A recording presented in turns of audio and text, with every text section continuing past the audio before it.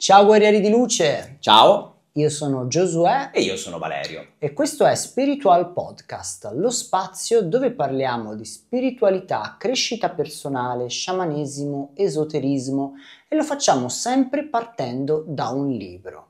E oggi abbiamo deciso di giocare in casa, no? Si suol dire così in questi casi. Eh, si dice proprio così perché abbiamo scelto un mio libro, che è Cristalloterapia, l'arte di guarire con le pietre. Facciamolo vedere. Questo è un libro che trovate per chi fosse interessato su Amazon, sia in formato cartaceo che in formato ebook ed è un manuale molto completo su tutto il mondo della cristalloterapia e anche su- sulle varie proprietà delle pietre unite anche ad un approccio più sciamanico. Diciamo la particolarità del libro è proprio questa. Sì, hai detto proprio bene perché il libro nasce proprio dal desiderio di unire la cristalloterapia tradizionale alle tecniche sciamaniche e quindi allo sciamanesimo. L'idea è quello di non vedere le pietre solo come strumenti di guarigione, ma di vedere queste pietre anche come dei veri e propri alleati, dei portatori di saggezza, dei portatori di consiglio. Tanto che all'interno del libro viene regalata scaricabile una meditazione guidata che è condotta da te, che è creata da te, condotta da te, dove le persone tramite visualizzazione, tramite un viaggio sciamanico guidate, vengano portate a incontrare appunto lo spirito del cristallo, perché a livello sciamanico è una cosa molto importante. A livello sciamanico tutto ha uno spirito e quindi anche le pietre. Avendo uno spirito, queste pietre possono diventare dei veri e propri alleati per la nostra vita. Diciamo che la modalità sciamanica ci permette di ehm, potenziare maggiormente, di, di dare un upgrade importante nell'utilizzo dei cristalli. Quindi se magari eh, normalmente la gente comune utilizza i cristalli in base al chakra, in base alle proprietà che possono avere eh, che possiamo trovare in molti libri chiaramente, in questo testo viene insegnato come mettersi in ascolto della pietra. Assolutamente sì, Giosuè. Il libro è diviso in due parti, infatti. La prima parte è proprio eh, cercare di far capire alle persone cosa significa occuparsi di cristalloterapia a livello sciamanico. E quindi ci sono degli strumenti, ci sono degli esercizi, delle informazioni che servono proprio a queste. La seconda parte invece del libro sono le classiche schede eh, di ogni minerale e quindi ogni minerale viene osservato a 360 gradi, vengono date quelle informazioni che per alcuni sono ritenute noiose, no? che sono le informazioni di come si è formato il cristallo, da dove proviene e poi tutte le altre invece che riguardano gli utilizzi in cristalloterapia, i benefici delle pietre, le varie associazioni che possono essere dal segno zodiacale ai chakra, passando magari per le professioni eh, che sono in, in connessione con, queste, con le varie pietre. Volendo diciamo mettere a fuoco per bene quali possono essere le differenze più sostanziali da un approccio ai cristalli tradizionale piuttosto che un approccio di tipo sciamanico, eh, che cosa ci rispondi? Allora, ti potrei rispondere in breve che l'approccio tradizionale di cristalloterapia è un approccio tramite la mente mentre l'approccio sciamanico è un approccio tramite bypassare la mente per arrivare direttamente al cuore.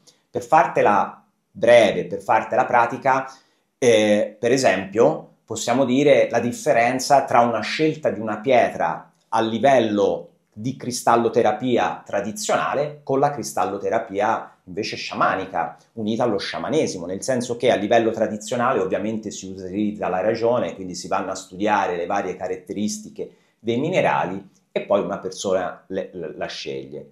Questo viene fatto anche a livello sciamanico e non è un caso che viene chiamata la pietra della ragione, no? In questo caso, proprio perché viene scelta a livello razionale. Ma ci sono altri metodi che possono essere più o meno validi, ma questo lo deve decidere l'operatore, colui che utilizza quella, quella, pietra, perché a livello sciamanico la differenza avviene se il risultato è quello sperato, quindi io potrei utilizzare un metodo che non risuona in me e magari un, un metodo ritenuto valido per tutti gli altri, ma non ha risonanza con me e quindi non è il metodo che devo utilizzare.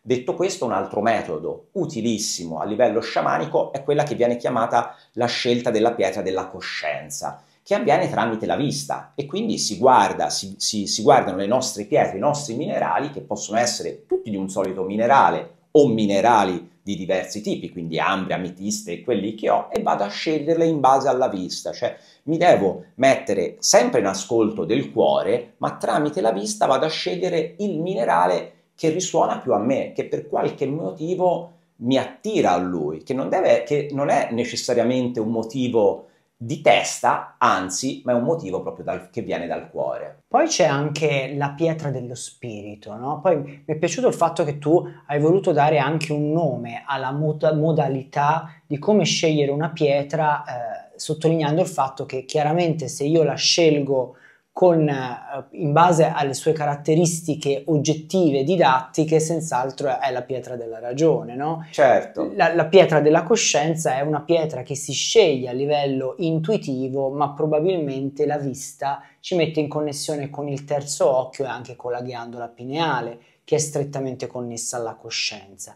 Mentre la pietra dello spirito... Eh, la pietra dello spirito è una pietra che viene scelta tramite eh, l'imposizione delle mani eh, sulle varie pietre a occhi chiusi, ovviamente. Però senza toccarla. Senza giusto? toccarla assolutamente, e quella toccandola è un'altra pietra, poi ne parleremo dopo, ma in questo caso proprio eh, percepirò delle, delle, sensazioni, delle energie, potrebbe essere un formicolio, un cambio di temperatura, qualcosa che mi fa capire a livello intuitivo che quella è la pietra per me e quindi è una scelta senza tatto, senza niente, cioè proprio imponendo la mano sulle pietre, sui minerali.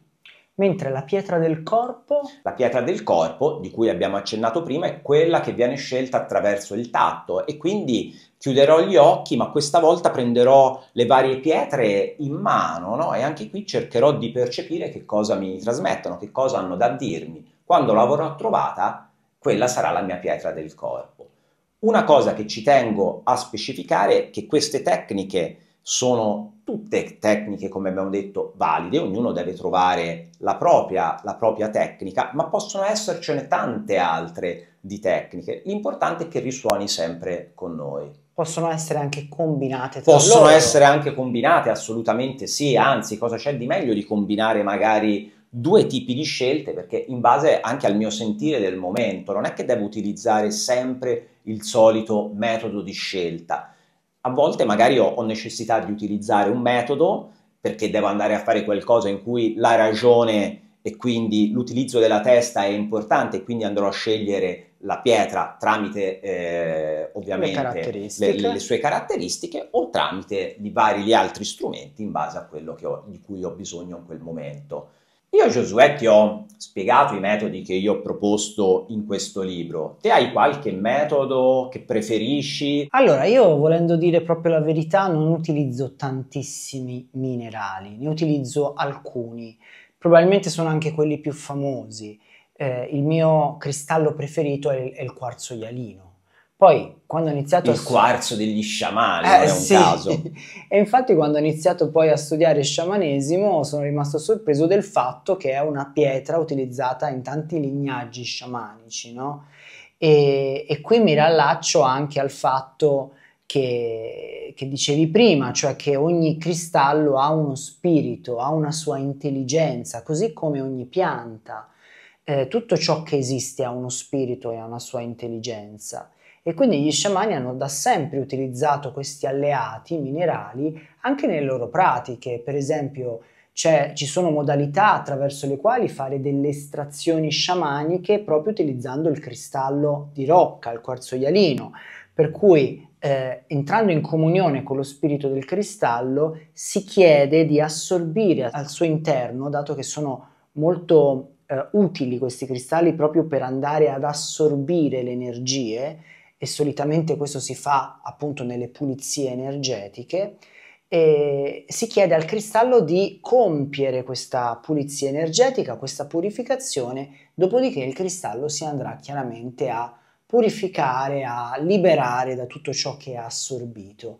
E questa è una modalità sciamanica attraverso i quali si utilizza, eh, si utilizza i cristalli. Un'altra modalità è quella per esempio abbinata al recupero dell'anima molti sciamani che magari si trovano a fare dei trattamenti a distanza, quindi delle guarigioni sciamaniche a, a distanza, a volte utilizzano proprio i cristalli come eh, conduttori, come portatori, no? in questo caso di frammenti di anima, per cui invece di soffiare il frammento di anima direttamente nel cuore della persona che magari non ha la possibilità di essere lì con noi in quel momento, lo si fa sul cristallo, quindi si va a soffiare il frammento di anima sul cristallo e poi dopo si regala questo cristallo alla persona che ha ricevuto la guarigione. Questa è un'altra modalità sciamanica. Poi eh, possiamo dire, per esempio, Giosuè, che eh, a livello teorico di cristalloterapia, più o meno ogni cristallo ha il suo metodo di, per essere purificato, per essere ricaricato. A livello sciamanico questa cosa è un pochino più elastica, nel senso che anche qui si utilizza il nostro sentire, quindi da tutti i metodi che anche qua possono essere tutti validi di purificazione e di ricarica dei, dei minerali, facciamo degli esempi, possiamo utilizzare l'acqua, l'acqua corrente per, per purificarlo, l'esposizione al sole o alla luna per ricaricare i vari minerali, si possono utilizzare delle druse, sono tutti metodi validissimi.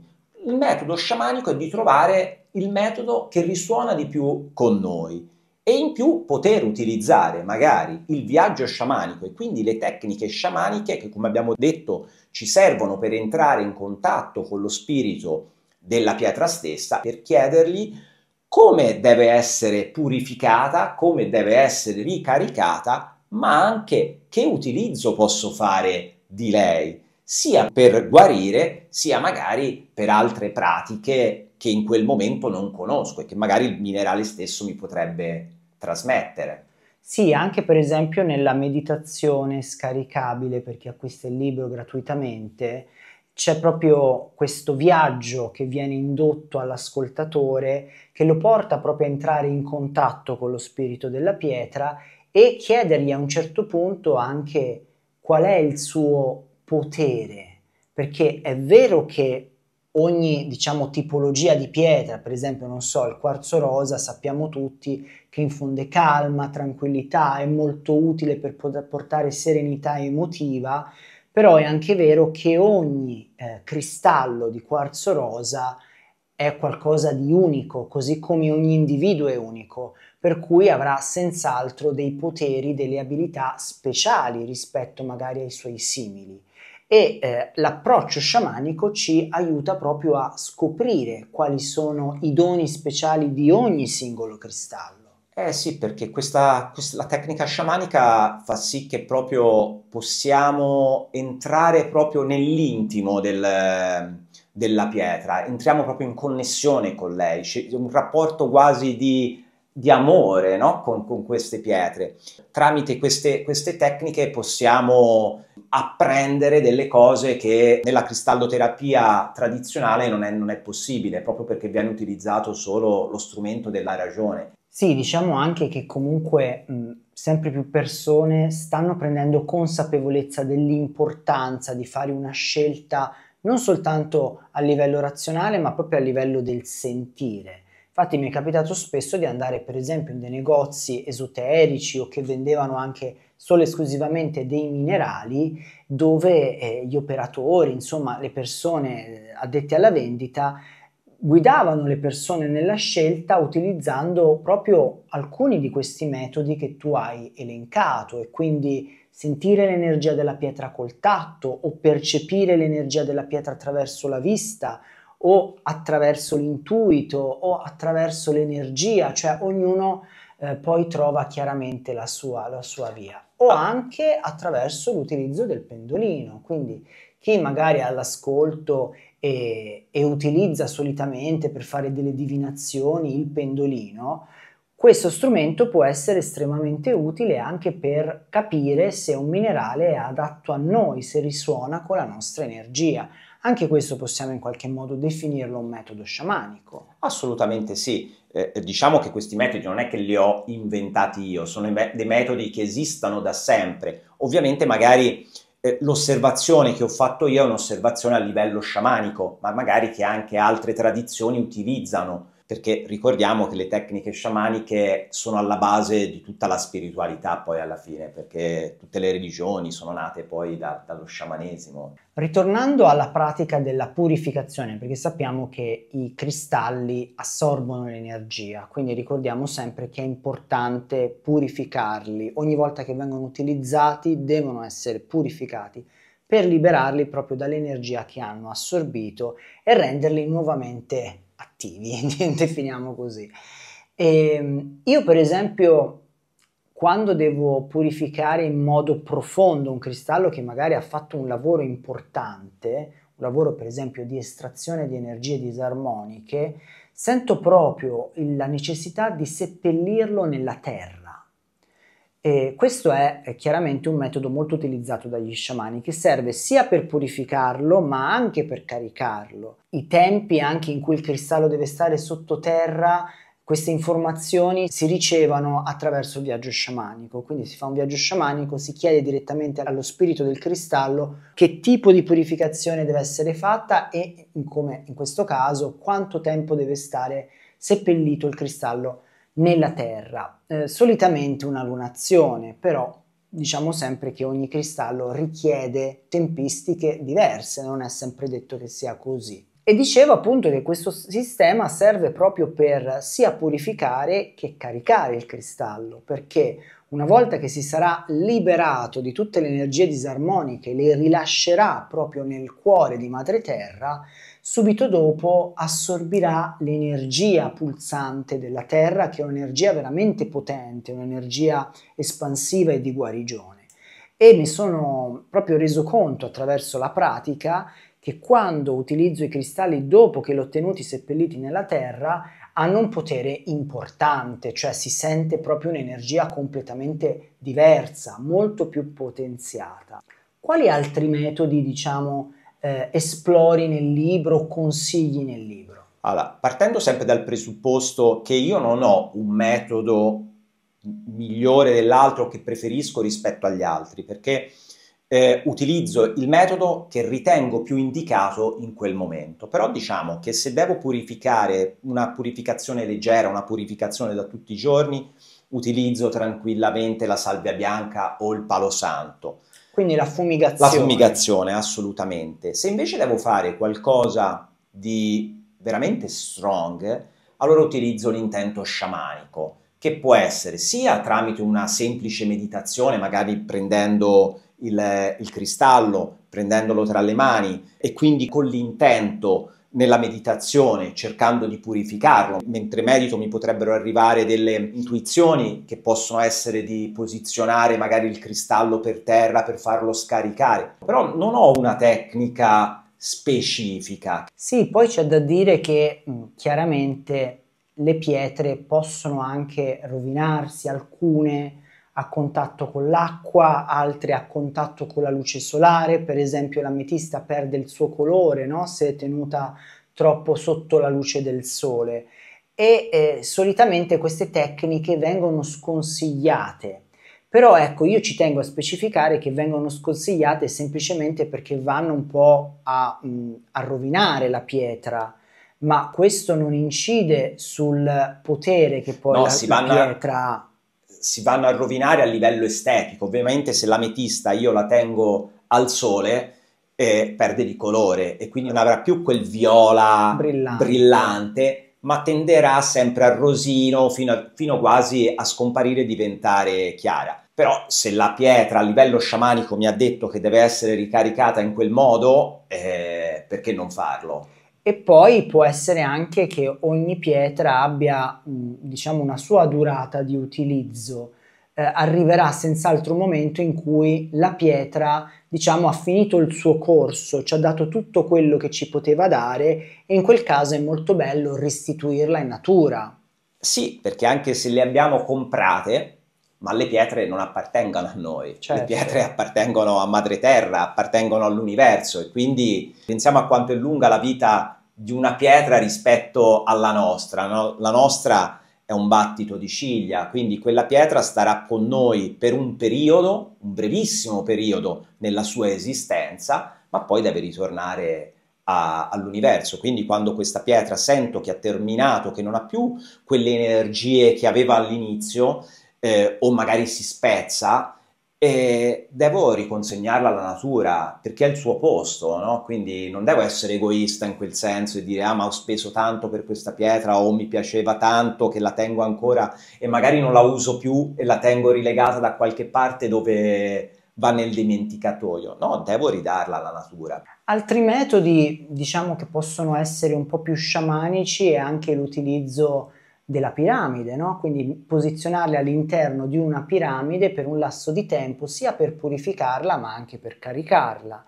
oppure all'interno di una genesa, quindi sono eh, strumenti che eh, chiaramente catalizzano un certo tipo di energia che sono ottimi per questo tipo di approccio, quindi sì. per purificare e caricare le pietre o anche dei semplici circuiti radionici per chi è appassionato di radionica. Sì, possiamo anche aggiungere il suono che è molto importante nella purificazione, il suono che può essere tramite una campana di cristallo, tramite una campana tibetana, ma anche più semplicemente tramite i sonagli o il tamburo tanto caro allo sciamano. Sì, anche il suono diciamo gli dà un potere importante.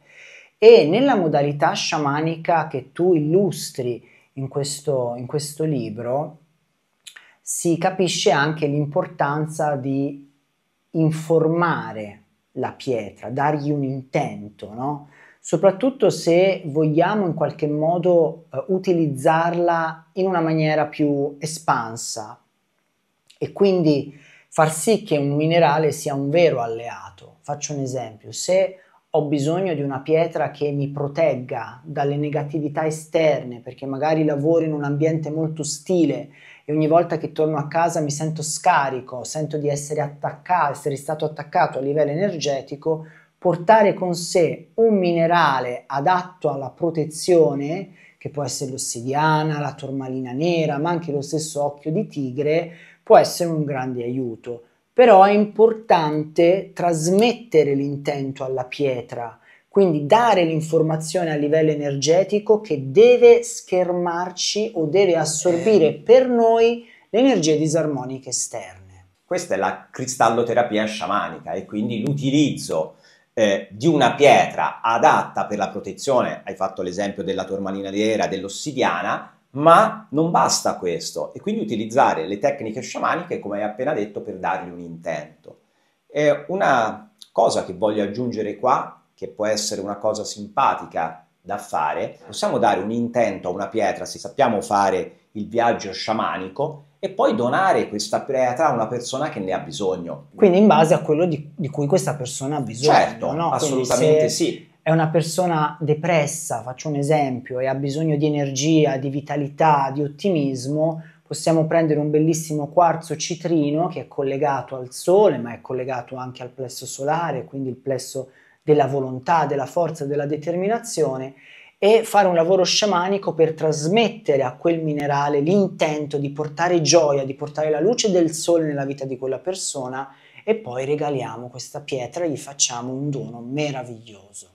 Eh sì, qui hai unito appunto le due tecniche, hai scelto quel minerale perché a livello razionale ha quelle caratteristiche, ma poi hai utilizzato l'intento sciamanico e quindi gli hai trasmesso cosa deve fare, gli hai dato questo acceleratore. Sì, io diciamo che la, la, la, scelta attraverso la ragione la utilizzo spesso quando voglio utilizzare le pietre e mi lego anche ai colori delle pietre che poi sono associati anche ai sette chakra.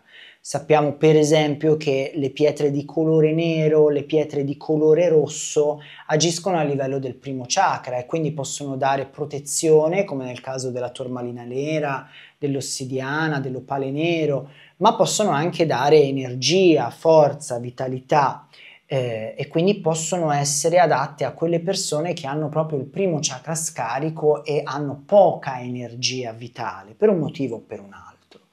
Oppure, non so, le pietre di colore arancione o che tendono a rosa sono legate alle emozioni, al secondo chakra. E se è un periodo della mia vita in cui le mie emozioni sono in subbuglio, io posso utilizzare una pietra di quel colore, informarla attraverso un lavoro sciamanico, dargli l'intento di portarmi calma a livello emotivo, a livello emozionale e utilizzarla proprio come un vero e proprio alleato, un vero e proprio spirito guaritore sul quale posso fare assolutamente affidamento. Una domanda interessante probabilmente per tutti quelli che sono in ascolto è quali secondo te sono i cristalli che non devono mai mancare, no?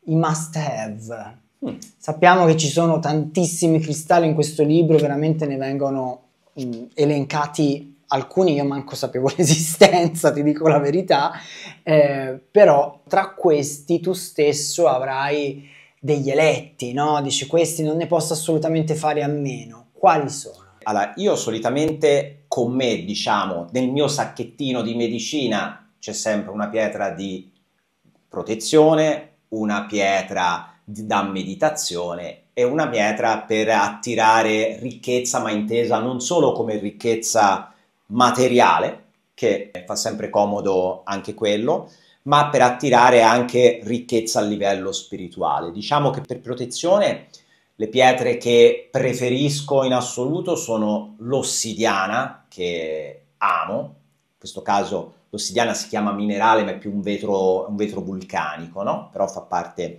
sempre dei che minerali. Che poi è una pietra molto cara allo sciamanesimo del Messico, allo sciamanesimo sì. tolteco, proprio perché in quella terra c'è grande produzione di questo minerale. Poi per attirare ricchezza possiamo dire l'avventurina, e da meditazione, una pietra da meditazione che amo tantissimo e che secondo me è un must have è l'ametista. Che tra Proprio... l'altro aiuta anche a dormire bene, quindi tenere una piccola drusa di ametista sul comodino aiuta ad avere eh, un sogno tranquillo, ma anche facilita la comprensione dei sogni e quindi quando ci svegliamo è più facile se abbiamo una drusa di ametista sul comodino ricordarci anche i sogni che abbiamo fatto. Quindi per tutti coloro che lavorano, non so, con i sogni lucidi o che danno molta importanza a, ai simboli che ricevono in sogno, può essere un alleato veramente interessante. Prima che ho sentito che hai parlato di drusa, una cosa importante da specificare sulle druse, visto che ne abbiamo parlato, in questo caso di ametista, che è un ottimo strumento per la purificazione e per la ricarica de- delle varie pietre, quindi se io ho una drusa la posso utilizzare mettendoci sopra altre pietre per essere purificate e poi ricaricate. Un'altra pietra che secondo me non dovrebbe mai mancare, più che altro nelle case, è la shungite, che è una pietra che ha proprio la facoltà di proteggerci dai campi elettromagnetici e chiaramente in ogni nostra casa, con tutti i dispositivi elettrici che abbiamo, siamo esposti a, a, molti campi elettromagnetici e quindi solitamente vendono delle sfere o delle piccole piramidi di piastre. anche piastre da mettere in prossimità del computer o del televisore, noi ne abbiamo un po' in sì. casa perché appunto sentiamo che, che c'è un beneficio, cioè l'energia cambia quando noi utilizziamo questi strumenti come protezione anche da, da, fonti elettromagnetiche. Hai parlato della scingite e della piramide, io per esempio quando lavoravo tanto in auto avevo una piramide di scungite posizionata in auto. Perché eri sempre al telefono? Perché ero sempre al telefono e sempre, e sempre in auto e quindi sempre in mezzo a dispositivi elettronici, perché anche quando sei in coda, cioè in mezzo alle città, immaginati te. Una cosa che bisogna però ricordare sulla scungite è che ne esistono di diversi tipi. Eh, c'è la scungite tipo 1, tipo 2, tipo 3 e la scungite elite. Ovviamente più costa, più è pura e quindi maggiore, più è potente. Più è potente. Prima Giosuè di concludere, ti volevo fare una domanda sulla pietra dell'animale di potere. Che cosa ci puoi dire di più?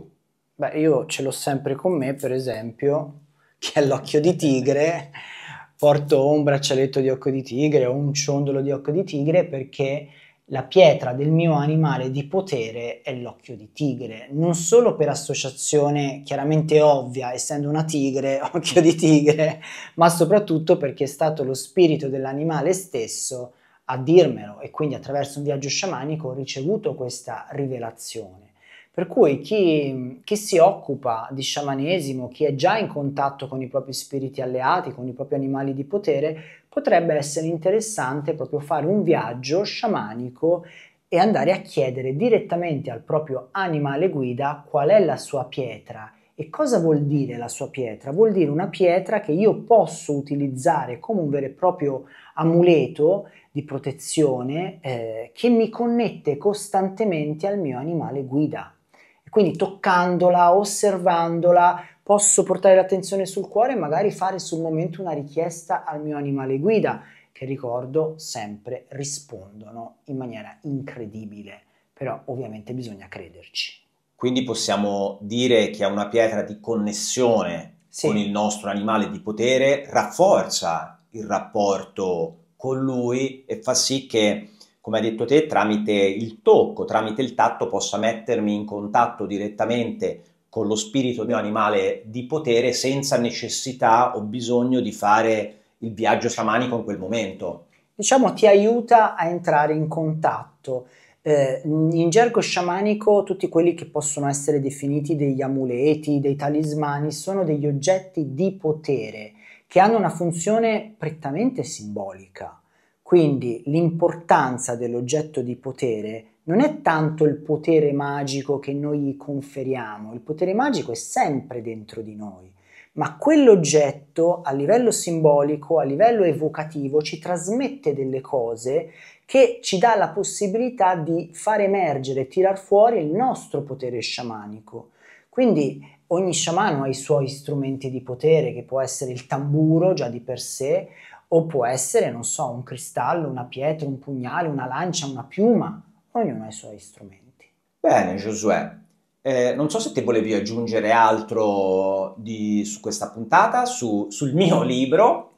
Eh... Che dire, chi fosse interessato lo trova su Amazon, sia in formato cartaceo come questo, sia in formato ebook. Chiaramente consigliamo, essendo un manuale da consultare al bisogno e quindi da sfogliare, consigliamo chiaramente il formato cartaceo ed è veramente un libro ben fatto. Eh, il libro, per farci stare più informazioni possibile, non è un libro illustrato, ma c'è un file scaricabile dove sono illustrate tutte le, le pietre. Ah, quindi ci sono anche tutte le immagini. Sì, non solo nel libro perché prendevano spazio e ovviamente fare un libro a colori ha un costo, ha un costo diverso. diverso. e non aveva logica no? farlo a colori farle le immagini in bianco e nero non aveva la logica perché chiaramente in bianco e nero non si sarebbero potute capire che, a che pietre si riferivano e quindi ho allegato anche in questo caso un file scaricabile eh, dove sono illustrate proprio tutte le pietre trattate nel libro. Bene ragazzi, siamo arrivati alla fine di questa puntata incentrata sul mondo della cristalloterapia.